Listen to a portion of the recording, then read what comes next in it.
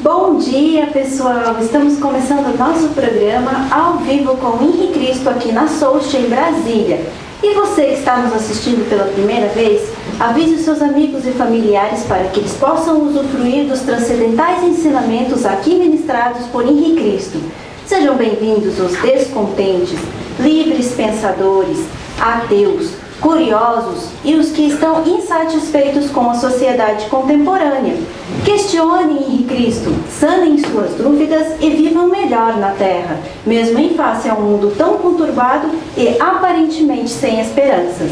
Todos os sábados, às 11 horas da manhã, em o canal da Liberdade Consciencial. E não esqueçam, mandem suas perguntas através do e-mail henricristonaweb.gmail.com.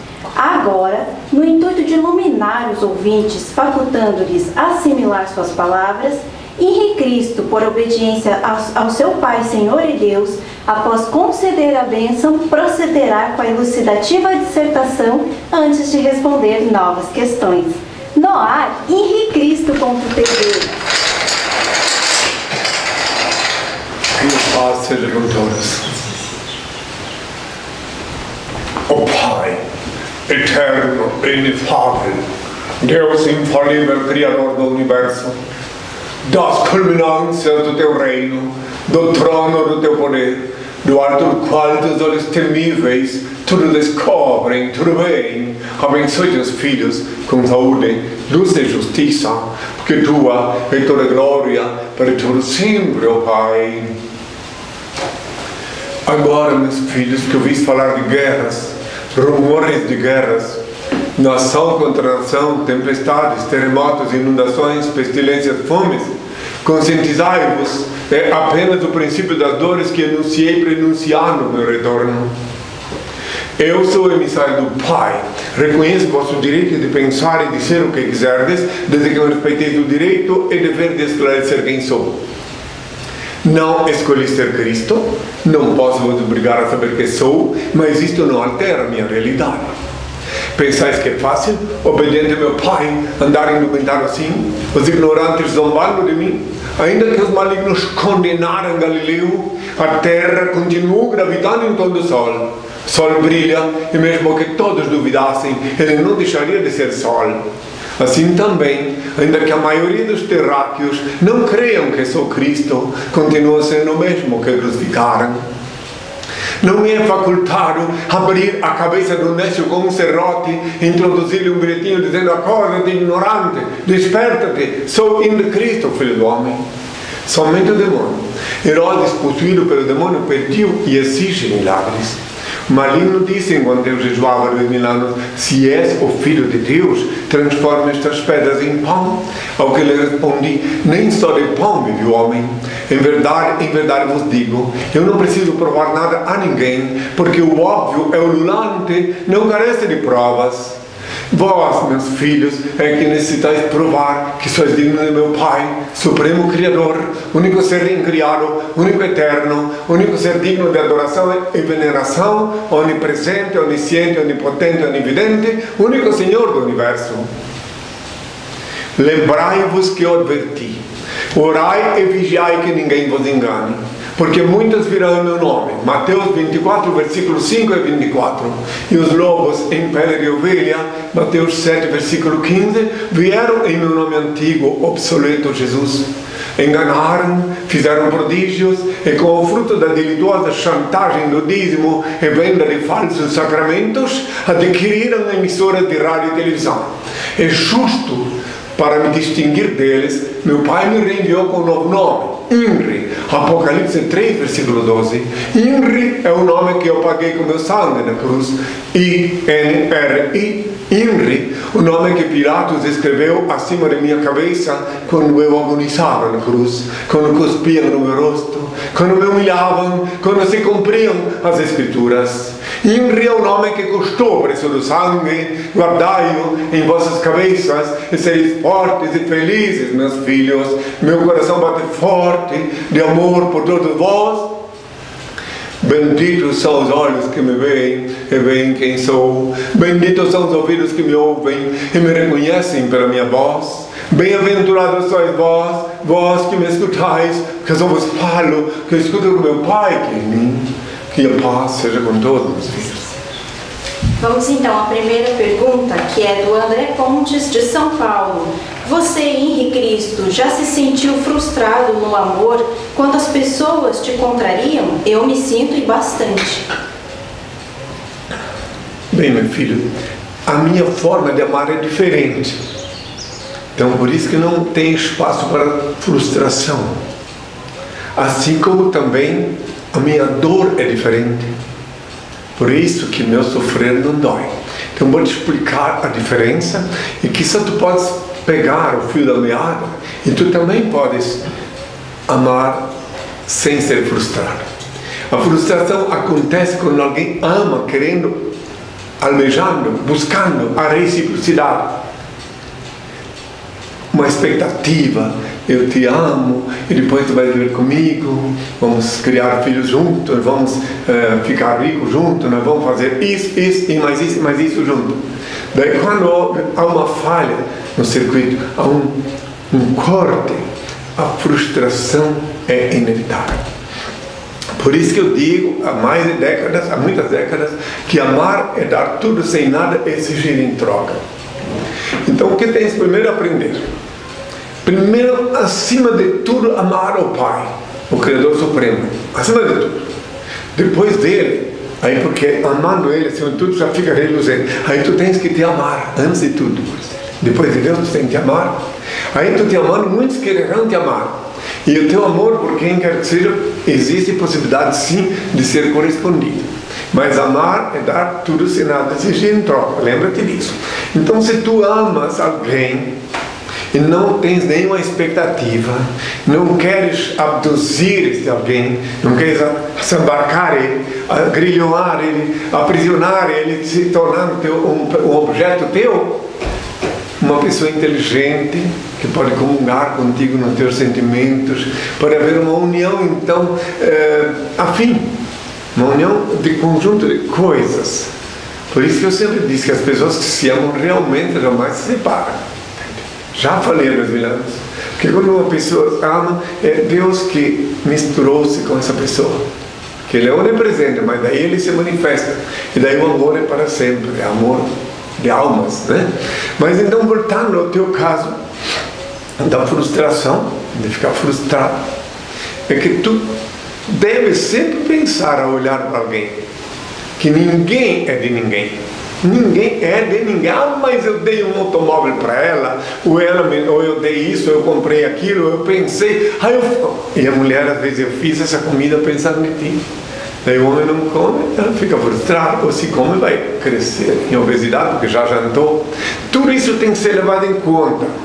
O amar é dar tudo sem nada exigir. Então, daí as coisas vêm acrescendo, vêm se acrescentando, vêm acrescentando. Por exemplo, na minha longa caminhada sobre a Terra, 44 anos de vida pública, percorri toda a América Latina, uma boa parte da Europa, e eu amei e amo até hoje. Muitas pessoas que eu amo, e amo mesmo com todas as minhas forças, que nunca estiveram aqui, que nunca estiveram comigo, mas eu a amo, eu as amo. E eu sinto que há reciprocidade, porque eu não espero reciprocidade. reciprocidade. Então esse é o grande segredo. Primeiro, tu ama o Pai Celeste acima de tudo. Depois tu ama, te ama. Quando tu te amas conectado em simbiose com o Pai Celeste, tu te torna um ser reluzente. Daí muitas pessoas gostarão de acercar de ti, de te amar. Então essa parte está encerrada, né? está explicado. E quanto à frustração, meu filho, não haverá. Não haverá se tu não quiseres abduzir, agrilhonar, aprisionar alguém. A reciprocidade é garantida. Eu conheço pessoas há mais de 30 anos, não, tem mais de 30 anos comigo, né? e eu os amo pela alma. Agora, quando a pessoa fica amando só por causa do que é aparência, às vezes acontece alguma coisa que a pessoa muda de aparência, daí vem a frustração. Entende? Então tem que cuidar com isso, para não ser da frustração, a adoecer é um pulo. Entende? sofrimento, tudo. Se tu, a cada vez que aconteceu uma coisa ruim, uma decepção, uma frustração, te refugia no Altíssimo. Vai buscar o aconchego dele, a intimidade dele. Ele te dará força, te dará luz, te animará para dar continuidade à tua existência terrenal, para não te tornar um ser infeliz, desgraçado. Tem todos a minha parte. Se não vai longe, mas vamos parar por aqui. Vando de Goiás, Henri, você se deixaria ser crucificado novamente? Interessante, tem umas criaturas mórbidas aí, né? Já vi cada coisa, né? Bem, eu, na bem da verdade, eu já fui crucificado agora de novo pelo boicote da mídia, porque a cruz agora não é feita como outrora, de madeira, é uma cruz sutil. Né? São 44 anos de vida pública, faz mais de 30 que eu digo em dois continentes que eu sou quem sou. E existe uma pressão muito grande muitas almas tenebrosas que vibram, que estão controlando a mídia, que vibram porque não posso falar ao meu povo, aos meus filhos. E até na área do humor, eu tenho notícias de que, mesmo quando eu me apresento num programa de humor que parecia também tem notícia que existe pressão para que eu não aparecendo, para que eu me apresente, entende? Então não tem, não existe cruz feita de madeira agora para mim. Já fui, já passei esses quase 40 anos, aliás 44 anos, numa cruz sutil, uma cruz magnética, negativa, até incandescente. Mas, como eu disse anteriormente, o meu sofrer não dói. Eu vou atravessando. E estou vendo, olha, eu tenho visto meus filhos já, me fizeste essa pergunta, o que eu vi nessa minha caminhada sobre a terra? Inimigos que me conspiraram, que me odiaram, depois purgar no hospital, ficar lá meses e meses, às vezes respirando por canudo, comendo por canudo e fazendo necessidade por canudo. E por fim vem a notícia que morreram. Vai, vai. Quantas pessoas. Se você quiser pode dar uma olhada na internet aí, vai ver que tem uns lá que estão lá expostos. Tem lá. Que falavam contra mim, que conspiravam, que me odiaram tiveram um fim trágico. Eu assisto nesses longos anos, eu estou como se tivesse, eh, não literalmente, mas simbolicamente sentado à beira de um rio, vendo os cadáveres que conspiraram contra mim passar. É mais ou menos assim que eu me sinto, meus filhos. É eu detesto. Não vai pensar que eu sinto prazer, não regozijo-me com a desgraça de ninguém, mas sim me regozijo com o Senhor, meu Pai, que faz justiça na terra, que Ele cala a boca daqueles que conspiram contra o reino de Deus. Agora, quanta coisa. Eu, inclusive, vi uma vez um padreco na televisão, note bem, já que fizer essa pergunta, eu vi um padreco na televisão ser perguntado pelo ratinho se eu era Cristo ou não. Sabe o que, que o padreco sem vergonha respondeu? Ele anda por aí carregando uma estátua no colo. Sabe o que ele respondeu? Sim, matem-no, enterrem-no, se três dias depois ressuscitar, ele é Cristo. Olha a resposta do padre. Estava com medo de perder, né? A teta. Eu vi cada coisa, meus filhos, quanto a desejarem. Agora, meu pai me falou uma coisa: que todos aqueles que querem ver minha caveira, todos aqueles que gostariam de ver a minha partida no tempo deles, meu pai disse que eles vão sempre desencarnar antes de mim 10 anos. Ou seja, não vão poder ver. E eu vou partir com muito gosto, sim. Com muito gosto, quando eu cumprir minha missão, vai ser ótimo para mim dormir o sono dos justos, porque eu busco fazer justiça na terra por ordem do meu pai, né? Então não me preocupo-me com isso não, filho. E quanto à tua ideia de se eu aceitaria, né? É muito interessante. Muito mesmo. Eu, a vida não anda para trás, não se demora nos dias passados, não tenho nenhum motivo para voltar a viver tudo que já vi há milênios. Só para teres uma ideia, ainda para concluir, para aqueles que estão me ouvindo e compreendendo, que eu sei que quem está me ouvindo e raciocina eretamente, de forma ereta, eh, compreende o que eu estou falando. Sabendo para tu ter uma ideia, por que eu não posso sequer voltar a Jerusalém, onde me crucificaram? Eu disse há dois mil anos assim, ó, preste bem atenção. Jerusalém, Jerusalém, que matas os profetas e apedrejas, sacrificas os que te são enviados. Ai de ti, Jerusalém, porque será deixada deserta a tua casa, porque de agora não me tornareis a ver, até que digais, bendito que vem em nome do Senhor. Não falei que como uma galinha recolhe debaixo das asas seus pintos, eu tentei juntar os filhos naqueles tempos. Então, passado é passado, a vida vai para frente e não para trás. Quem pensa em andar de ré vai tropeçar com o desconhecido atrás. Tenham todos a minha paz. João Canário de Lisboa. Bom dia, Henri. Gostaria muito que me ajudasse a entender melhor as três maldições em Gênesis 3. Deus disse à serpente que seria mais maldita que toda fera. Disse à mulher que com dor teria filhos e o seu marido a dominaria. E disse ao homem que do suor do seu rosto comeria e maldita seria a terra por sua causa. Interpretação, meu filho, tem que interpretar. Vamos, vamos pela primeira. Que a serpente né, seria maldita, É. que rastejaria sobre seu ventre, etc. né? Ele apenas instruiu, quando falou, que explicou a naturalidade da serpente, da serpente que ela efetivamente até hoje ela anda sobre o ventre. Né? Mas as maldições são, não raro, uma interpretação, carece de uma interpretação metafísica. Bom, a segunda parte, que a mulher É, disse à mulher que com dor teria filhos e o seu marido a dominaria. Bom, isso aqui é muito mais fácil de explicar, né? Porque, no caso, o primeiro, o primogênito de Deus, não veio do ventre de uma mulher, quem quiser crer, crer. Primeiro, lá atrás, do ventre de uma macaca, né? Claro que tem alguns imbecis que vão até ficar com raiva. Pode ficar. Ignorância é o maior inimigo do ser humano. Mas, então daí a mulher, claro que Deus sabia, não é maldição, não é bem maldição, não. A palavra maldição é muito usada e mal interpretada. Deus sabia que ia haver a desobediência sim. Ele apenas interpretou e explicou, explicou o que sobrar no sentido, digamos assim, prático da palavra, que a mulher ia ter dor no parto. É. Que o- a- os animais, na hora do de parir, não sentem o mesmo problema que a mulher sente. É diferente, quem quiser vai estudar e vai ver que é diferente. O, a, a dor do animal na hora de parir, seja vaca, seja qualquer animal, é diferente do que a mulher.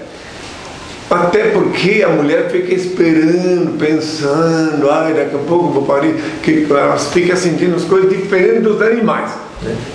Então, por isso que ele interpretou, avisou, avisou amorosamente que a mulher tem agora que se preparar, porque ela deixou. Aí, aí vem a pergunta, aí surge a pergunta, mas espera aí, então não, e se não tivesse ah, o pecado, o chamado pecado original, aí Deus sabia que ia haver. Mas se não tivesse todos as- os irmãos de Adão, Adão também é um nome metafórico, eh, também seriam da mesma origem que ele, porque alguém começou tudo. E daí não teria a dor no parto e não teria também, ah, outra coisa, daí o Adão não teria que ganhar o suor, o pão, o suor do rosto, porque vocês podem prestar bem atenção, meus filhos, que os animais, se eles vivessem em condições naturais e normais, eles não precisam trabalhar. Eles sobrevivem, a mãe natureza dá para eles, dava quando não havia interferência do homem no sistema ecológico, no sistema da natureza, da mãe natureza, os animais tinham como sobreviver, a, a, a ordem natural seguia o seu curso sem o homem ter, ter que de, trabalhar para ganhar o pão do suor do. Agora o homem procria, vai lá praticar o sexo, procria, e só cego não vê, só cego que não vê que agora a terra está completamente contaminada, consequência da procriação desordenada, consequência do, da prática exacerbada do sexo, que as pessoas fizeram a coisa sem, e daí já surgiram os religiosos que impediram, em que pese Deus ter inspirado a ciência para facilitar o controle da natalidade, mas os religiosos ambiciosos em ter mais escravos para dominar, foram contra o controle da natalidade. Então está essa coisa que vós podereis ver aí, inclusive lembrando o que eu disse há dois mil quando eu caminhava em direção ao Calvário. Mulheres de Jerusalém, não chorem por mim, guardai vossas lágrimas para os vossos filhos porque chegará o dia em que bem-aventuradas serão as esteris. Ai, da, ai das grávidas, ai das que amamentarem naqueles dias, que são esses dias atuais. Que a mulher fica grávida e às vezes joga o filho pela janela, no sanitário, ou tem que asfixiar com um travesseiro, como eu sei de alguns casos. Então, entende, meus filhos? Eu estava avisando naquela época, não era eu que sabia, e sim que Deus revelara para mim que quando eu voltar, só voltaria aqui nessas condições. Então, lembrando, voltando agora ao Adão, a pergunta que ele fez: Adão, é, procriação, é, parto com dor, né? não é bem uma maldição. É uma maldição porque a desobediência gera a maldição, mas não é Deus, na sua poderosa condição, que precisa amaldiçoar quem quer que seja. As leis dele violadas, violadas geram a chamada maldição. Vamos ver se me entenderam. Luiz Leopoldo de Santa Cruz, Rio Grande do Sul. Sabe que um dia, falando com um universitário, ele entende que o homem é um descendente do macaco, mas foi aos poucos se acasalando até chegar na forma que o homem é hoje. Imagina, foi a mistura das raças dos macacos? cada um conjectura, cada um pensa. O, o, o universitário está, não está todo errado. Né? Que no início, né, os primeiros homens, né, o primogênito, né, ele tinha características ainda né, simiescas. Né? Então, lógico que foi aos poucos mudando, mudando, as coisas foram alterando. Entende? Então não está de todo errado, mas não é exatamente como ele pensa. Né? Só que não dá para explicar agora, não, tem, eh, não dá para eu voltar no tempo e mandar uma filmadora lá filmar as, reencarnações e tal, e mostrar foi assim, foi assim. Não dá. Cada um que raciocine, imagine como puder. Só sei dizer que o Senhor me revelar, só posso falar o que o Senhor me revelou. Ele me mostrou, Senhor, o ser que veio da, da água, que ficava um pouco na terra, um pouco na água, e foi, foi, depois se adaptou na terra, o primeiro réptil rastejante, depois foi me mostrando quando ele veio como macaco, depois que ficou, voltou já sem a cauda, e assim por diante, até chegar à condição que é hoje. Com a diferença, então foi havendo alterações também no cérebro, tudo.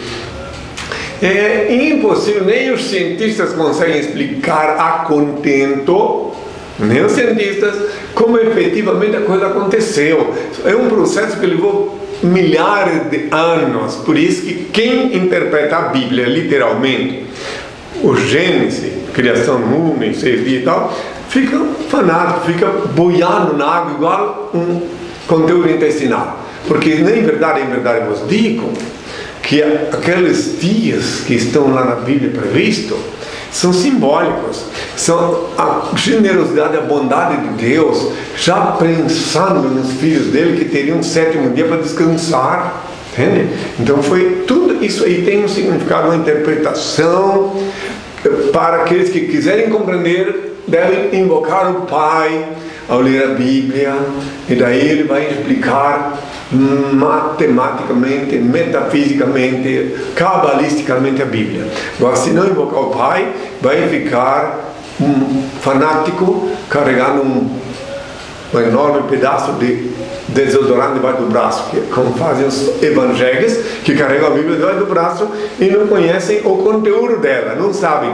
Eu disse e reitero uma vez mais que na minha ótica, na visão que meu pai me deu, a Bíblia é um livro de letras mortas, repleta de fábulas, lendas, eh, metáforas, até charadas.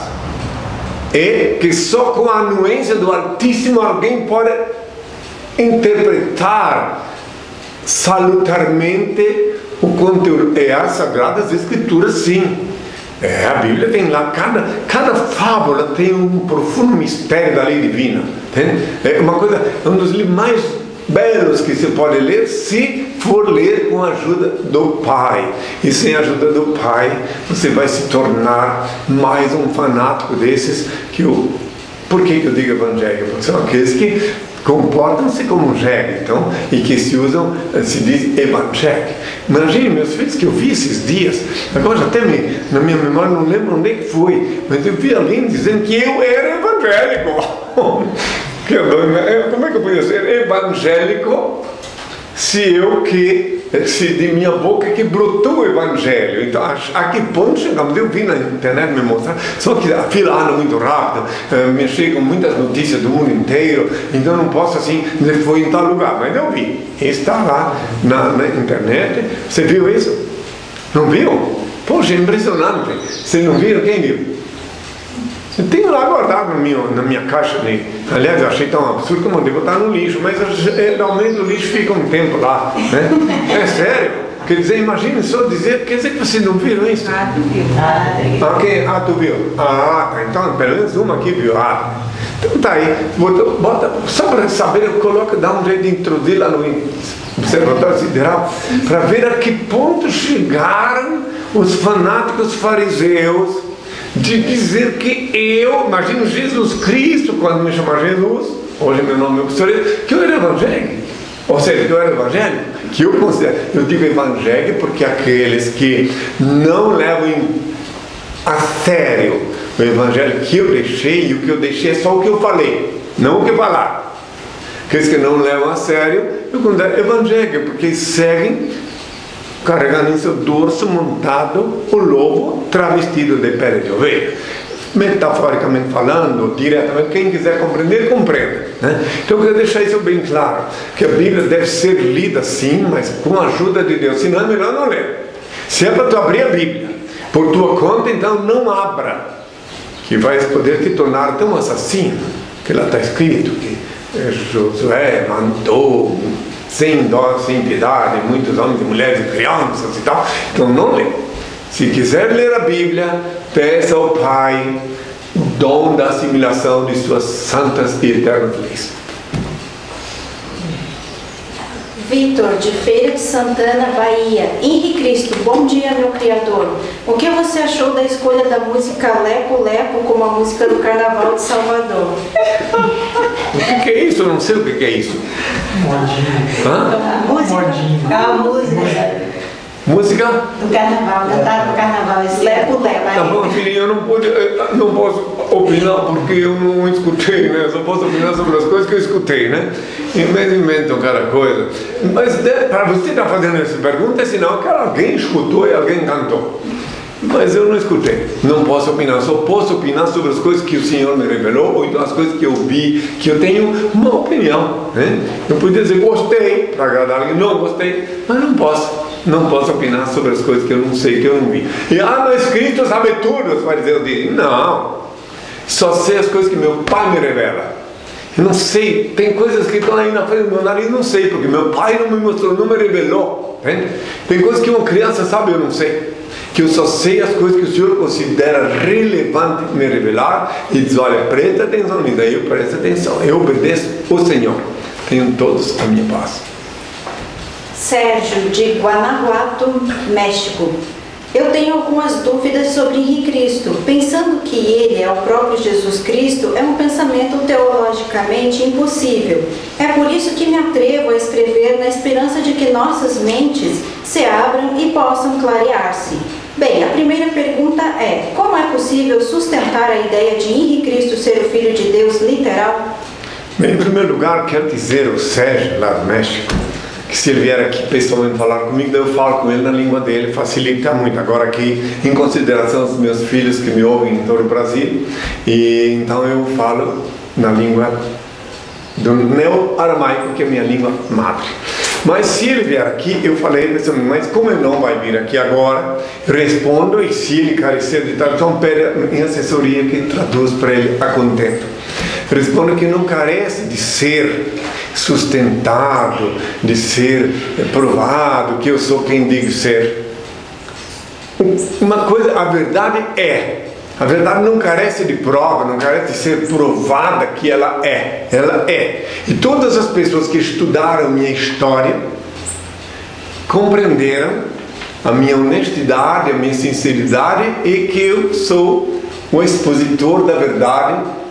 E porque meu pai e eu somos uma só coisa, tenho consciência disto, então não, ninguém pode mudar a realidade que me concerne. Então não é uma questão de crer, inclusive não considero relevante que alguém creia que sou Cristo, eu acho o contrário. Eu sempre peço ao meu Pai que inspire, ilumine os filhos dele, para que eles vejam quem sou, que eles saibam quem sou. Então não é uma questão de sustentar, entende? É só para teu, para teu conhecimento, meu filho, eu passei, são 44 anos de vida pública, eu estive no México, Saurare do México até. Eh, quatro meses na capital, tive em Cuernavaca, tive em eh, Saltillo, tive em Monterrey e tive em Guadalajara, falando povo lá. Na capital falei no quiosco da Alameda. Tá? Muito bem.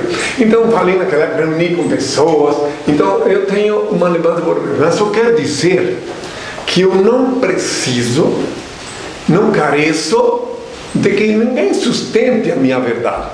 Porque a minha verdade é a única que existe, não é minha, é universal, é do meu pai.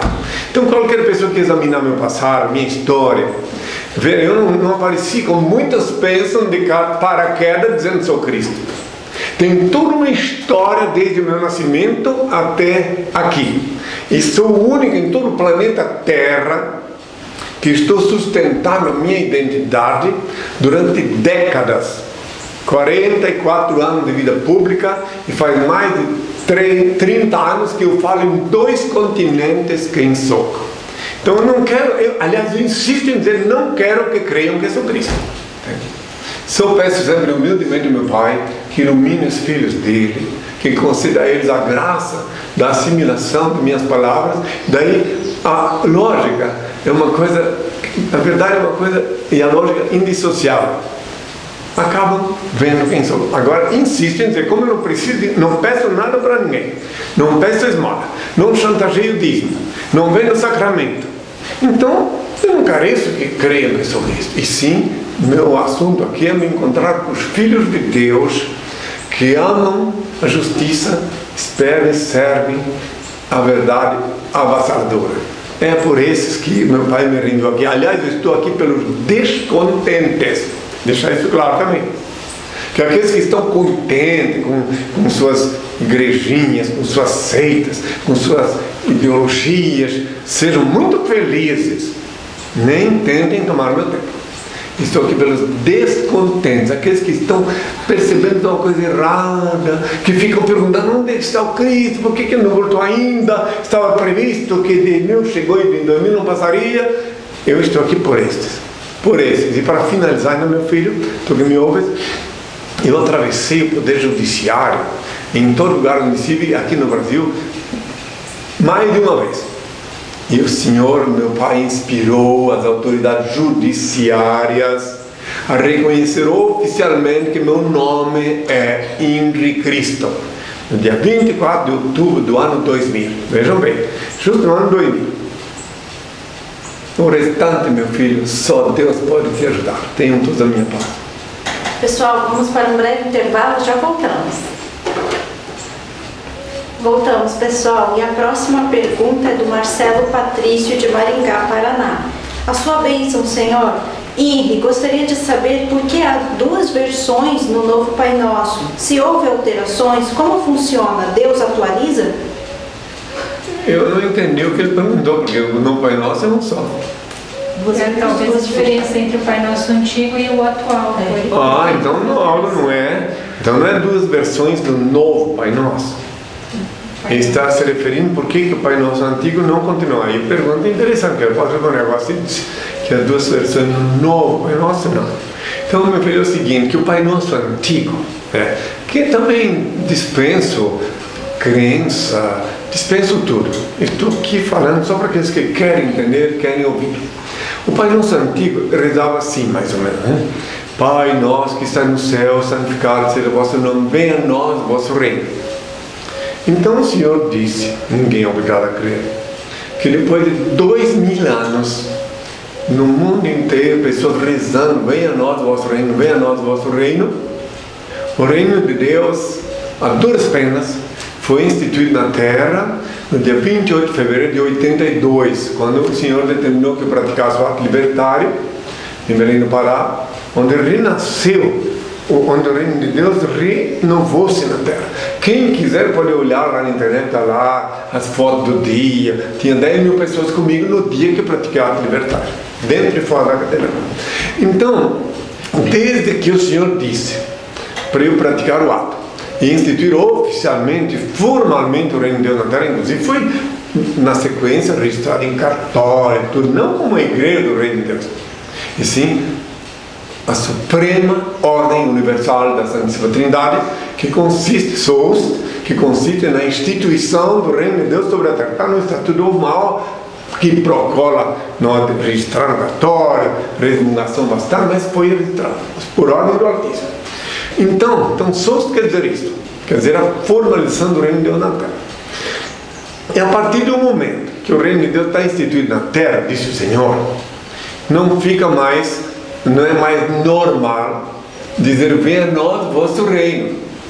Por esse motivo que ele mandou que eu expusesse, ensinasse o novo Pai Nosso. Porque eu vou citar um exemplo para todos que me ouvem de uma vez por todas fica claro isso. Eu vou citar um exemplo que eu sempre digo quando alguém me pergunta isso, mas agora eu falo em público. Não sei se algum dia já falo, não lembro. Então, que se tu que estás me ouvindo, tu ouves teu filho todos os dias, semana, mês, pedindo, pai, me dá uma bicicleta, pai, me dá uma bicicleta, ou mais modernamente, me dá um notebook, me dá um notebook, me dá um notebook, né? Passamos de conta que tu, um ano, dois, três depois, no caso do de Deus foi dois mil anos, ele resolve dar, aí tu dá o notebook pro teu filho. Depois que ele recebe o notebook e tudo, e, tu, e continua, no caso, o foi instituído na Terra com testemunho de 10 mil pessoas. Aí depois disso tu continua, pai, me dá um notebook, pai, me dá um notebook. Tu, no mínimo, vais ficar, como se diz em francês, fâché, né? Vai ficar com raiva.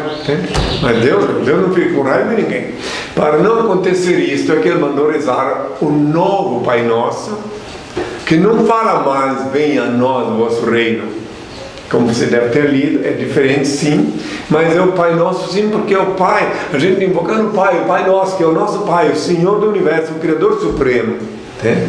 Então por isso que ele mandou, e note bem, já que falasse isso, explicar para todos que me ouvem a grande diferença do novo Pai Nosso para o antigo, em considerando, além de que venha a nós vosso reino que no Pai Nosso antigo se pedia assim: dai-nos o pão de cada dia, né?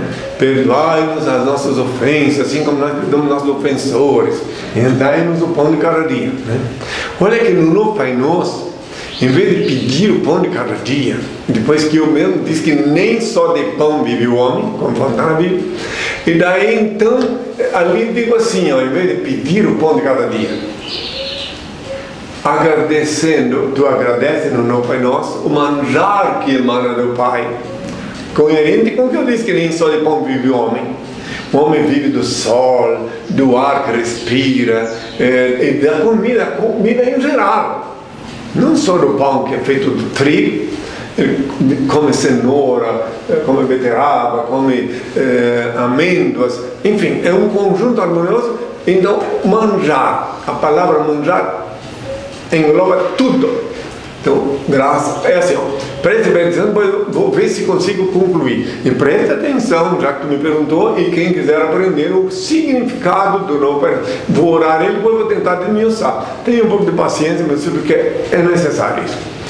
O Pai, eterno e inefável, Deus infalível, Criador do Universo, santificado seja teu nome Seja feita a tua vontade, assim na terra como no céu. Graças te dou pelo manchar que emana de ti. Aparta-me dos erros, ilumina-me para que eu te sirva sem equívocos, glorificando-te hoje sempre, ó Pai.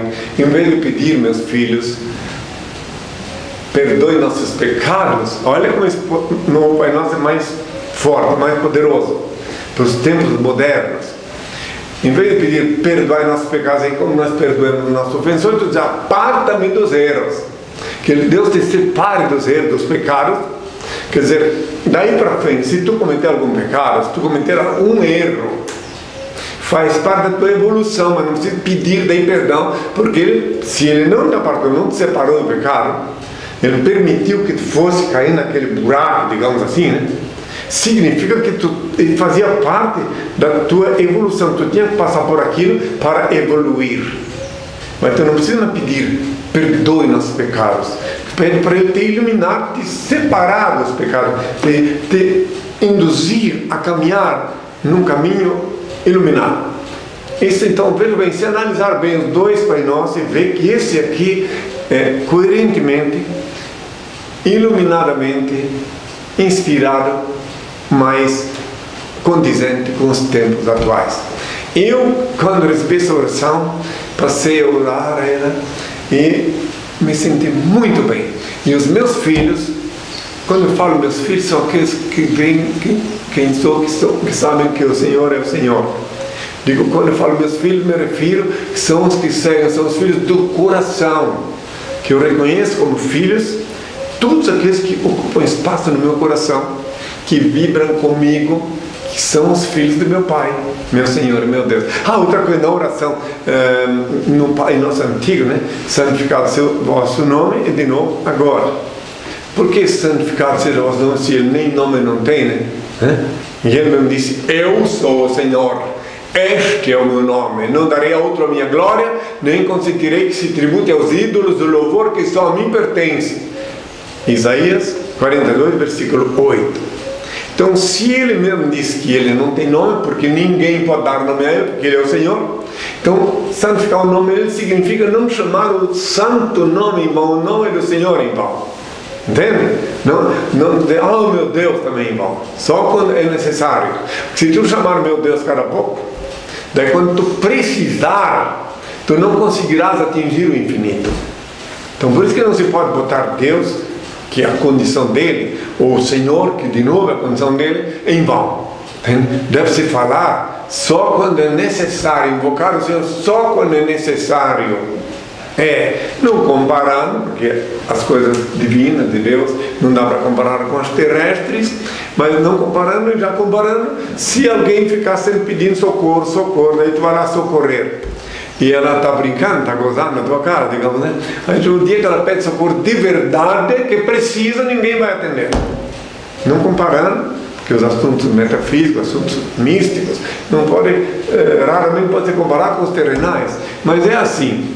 Então ficamos compreendidos, porque que, não é que, eh, que mudou-se, e sim que é o novo Pai Nosso um novo, assim como o meu nome, o meu novo nome, que está em Apocalipse 3, versículo 12, para não confundir com o nome obsoleto Jesus, que já está sendo usado até para cachorro. Tenho toda a minha paz, meus filhos. Karen Duran de Osasco, São Paulo. Bom dia, Senhor. Eu gostaria de saber como surgiu o petróleo, já que existem diversas teorias, sendo que a mais aceita é que são restos orgânicos de animais e vegetais. Então o petróleo faz parte do contexto da natureza. Está certo, tá, é possível, é viável, é aceitável essa opinião. Então, agora é uma coisa que não, dá, não posso opinar exatamente, mas acho coerente, considero coerente essa afirmação de que são restos orgânicos, etc. Em resumo, o petróleo seria, digamos assim, uma, umas partículas de sangue na nossa mãe terra. Pronto. Vamos deixar por isso mesmo. É, o meu amigo Alamiro Tapia que dizia né, que Deus tem em Santa Paz, lá em Santiago do Chile. O petróleo é o sangue da Mãe Terra. Né? É, é umas partículas de sangue da nossa Mãe Terra. Mais ou menos isso. E vão chupando, chupando, feito vampiro. E a Mãe Terra começa a reagir. Né? De forma nem sempre é, confortável para os que sugam da Mãe Terra o petróleo. Né? Tenham todos a minha paz. Leandro, do Rio de Janeiro. E os mil anos de paz são metafóricos? Olha, sim e não. Sim, porque anos, tempo, no contexto do infinito, do cosmos, do meu Pai, não conta. Porque meu Pai não está inclinado dentro de calendário. Para meu Pai, para meu Senhor meu Deus, que também é vosso Pai, se assim o entendeis, vosso Senhor e vosso Deus, não faz nenhum segundo, nenhum segundo que eu fui crucificado no contexto cósmico universal. Foi há um instantinho atrás. Então, para ele o tempo não conta, porque ele é o Senhor. Ele está acima, por isso que é infinito, é eterno. Está acima da calcula, do cálculo do tempo aqui na Terra. No eterno, para o eterno que é Deus, o tempo não conta. Então, logo, mas do outro lado, esses mil anos de paz, para quem raciocinar bem, eu vou tentar mais ou menos resumir. Faz muitos anos que eu venho explicando sobre isso em dois continentes. Espero que agora fale para o mundo inteiro de uma vez. Né? Então, é correspondência diferente para do mundo, da África, da Ásia, tudo quanto é lugar. Né? Então, mundo globalizado a favor do, das leis do Senhor. Então, esses mil anos de paz, se calcularmos assim racionalmente, é, são viáveis sim, dentro do cálculo terrenal, porque depois da catome nuclear, que é inevitável, depois de todas as coisas que estão para acontecer, que fazem parte daquilo que eu enunciei há dois mil anos, que eu só voltaria nesta época. Então, depois de tudo isto, conforme eu tenho anunciado, hum, quando falo do futuro da humanidade, é claro que os habitantes da Terra, que ficarem aqui, que sobreviverem à hecatombe nuclear, que tiverem a missão de reorganizar o que sobrou dessa massa falida chamada humanidade, quem quiser se ofender, que se ofenda. É, uma massa falida. Então, daí, esses que sobrarem conseguirão transferir, conseguirão repassar para os seus descendentes através de literatura e através da tradição oral também, de vai, vai, mas só que depois de mil anos mais ou menos, pode ser até antes, haverão pessoas que dirão, ah, o que, que é isso? Bomba nuclear, morte, tudo isso é para terrorizar, não existiu, isso é mentira. E também não existiu, outra fábula, entende?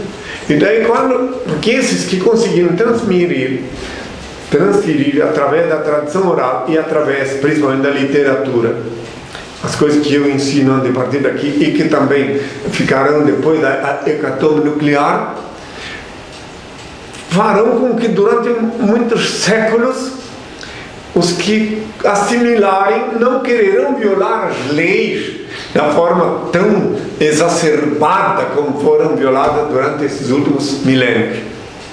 Então eles serão mais cautelosos mais prudentes, até porque naqueles dias, depois da catástrofe nuclear, quando uma pessoa encontra com outra, fica feliz de encontrar que a terra terá sido enxugada, terá sido higienizada. Quem quiser se ofender, que se ofenda.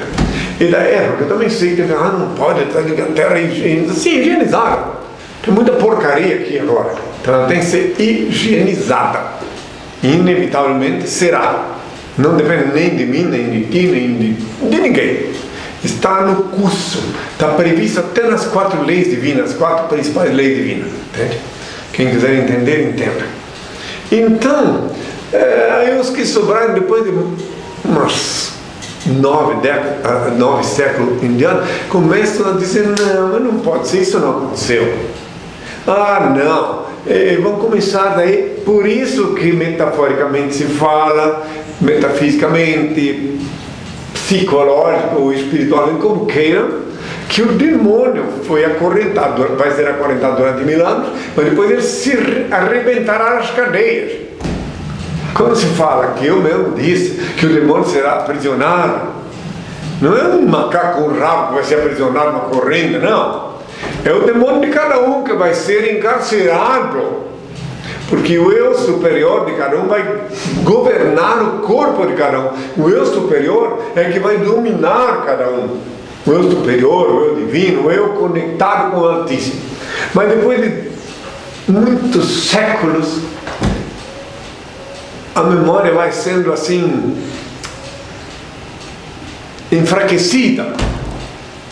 Aí terão aqueles sim que não acreditarão mais. Mas mil anos ele estará encarcerado, o demônio. É o demônio de Frão. Repito, insisto em dizer que o demônio não é um macaco, um rabo, como vos ensinar os donos das igrejas, os donos das religiões. Não. O demônio é uma entidade, um, um, um corpo sutil que está conectado a todos os habitantes da Terra, mas só que não podemos obedecer. Né? Ele é uma energia que está sempre querendo reinar sobre o corpo de alguém. Ele reina sobre o corpo que lhe obedece. Entendeu? já vi falar na televisão, uh, quando vi assim uma delegacia, o prisioneiro acusado, o, o assassino que matou o filho, delegado, pergunta, mas por que que fizesse isto? Ah, eu não sei, doutor, eu estava fora de mim. Ele estava fora de mim, dele, quem fez o serviço foi o demônio que se apossou do corpo dele. Quem, é claro que tem muitas pessoas que dizem, ah, isso é bobagem, mas existe essa energia, existe, é uma realidade que até os ateus cruzam com ela, só que não tem uma explicação metafísica, espiritual, então eles dão a explicação dele de acordo com as limitações que lhes é inerente. Tenham todos a minha paz. Eduardo Costa Leite, do Rio Grande do Sul. Bom dia, Henrique Cristo. Você pode explicar por que nascem crianças chifópagas? Obrigado.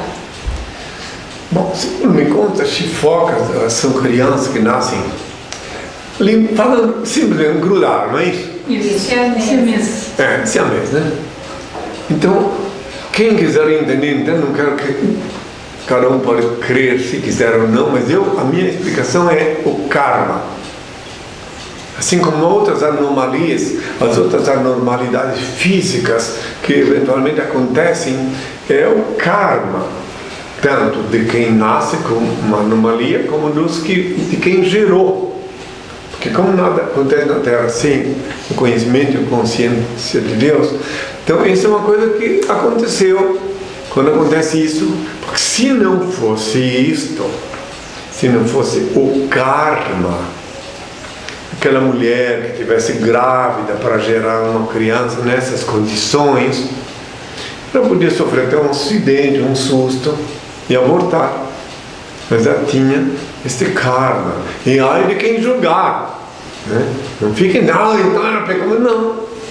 Cada um deve saber que aquele que estiver sem pecado, não atire a primeira pedra, porque se estiver sem pecado, está pecando dizendo que está sem pecado. Exato, não, porque se disser, então, ah, então, aí que é um pecador maior, é um pecador maior. Então, portanto, ninguém pode julgar ninguém, deixa que o Altíssimo Criador Supremo, o único juiz confiável, julgue a todos nós. Né? Então, lembre disto, respondendo a pergunta, que é a, tem a ver com o karma. Mas por que, que ele estará tão preocupado com isso? Tem, não, tá? Fique à vontade. Então é isso. Está na hora de pedir ao Pai a bênção, né? Pois é. Então eu queria também explicar aos ouvintes, se fica às vezes uma pergunta para depois, uma pergunta, que, ah, mas o Mir se alonga muito. É, esse tempo, inclusive, até o gaúcho lá, o Luiz, é, mas eu quero explicar conclusivamente as perguntas que me fazem, porque nos anos todos que eu falei nas televisões, eu fiquei ouvindo tantas abobrinhas que me jogavam na minha orelha quando eu tentava responder uma pergunta conclusivamente, conclusivamente, inclusive é era comum que fazia uma pergunta, quando eu começava a responder, já me jogava uma outra pergunta mais capciosa ainda, que a pergunta nunca poderia me explicar. Então aqui não, aqui na casa do meu pai, que na SUS, na sede do Reino de Deus, formalizado pela SUS, eu respondo sim conclusivamente para a pergunta, porque assim pelo menos a pessoa, e ainda assim, se alguém achar que não está satisfeito, reitere num próximo e pergunte e diga o que não, não ficou claro. Que eu respondo. Aqueles que me ouvem, eu sei que tem pessoas que não gostam que eu me alongue na resposta. Ah, mas Então, se é tão sabido, tão iluminado que não quer ouvir tudo, não é obrigado. Os filhos de Deus querem sim saber tudo, e eu respondo para os filhos de Deus e também para os outros, mas os filhos de Deus eles não me julgam por eu demorar às vezes explicando detalhes. Como ainda pouco me perguntaram pelo Pai Nosso. Eu podia dizer assim logo de cara: olha, sabe uma coisa? Está lá na internet, eh, quem quiser vai lá ler, está explicado, não está explicado? Tá. Mas aquela pessoa, às vezes, eu sei que até ela ir lá pesquisar isso, ela tem um monte de obstáculos. Então vou lá, explico. Por isso esse momento aqui é um momento do Senhor, é no sábado do Senhor, o dia do Senhor, que aqueles que conhecem a lei do Senhor não trabalham, pensam no Senhor, nem trabalham nem mandam ninguém trabalhar. Aqueles que conhecem a lei do Senhor, eles ficam em harmonia com o Senhor. Agora, antes de pedir ao Senhor a bênção, aos integrantes da Confraria dos Beneméritos e também aos que estão chegando, vou explicar mais uma vez.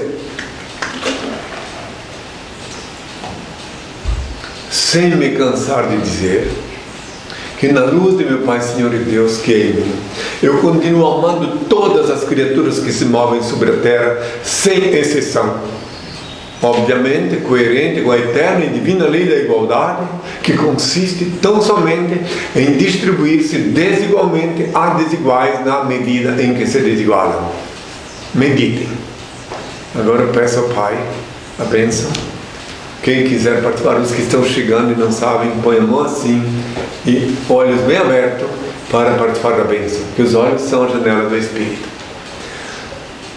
O Pai eterno e inefável, Deus infalível, Criador do Universo, das culminâncias do teu reino, do trono do teu poder, do alto qual teus olhos temíveis tudo descobrem, tudo veem. Abençoe teus filhos com saúde, luz e justiça, porque tua é tua glória para todo sempre, ó Pai. Que a paz seja com todos meus filhos, até sábado e até sempre. Pessoal, lembrando que este programa estará disponível a partir de amanhã no nosso canal no YouTube, Henrique Cristo TV. E não esqueçam, as perguntas que não foram respondidas hoje serão respondidas no próximo sábado, logo no início do programa. Então, uma excelente semana a todos e até sábado que vem.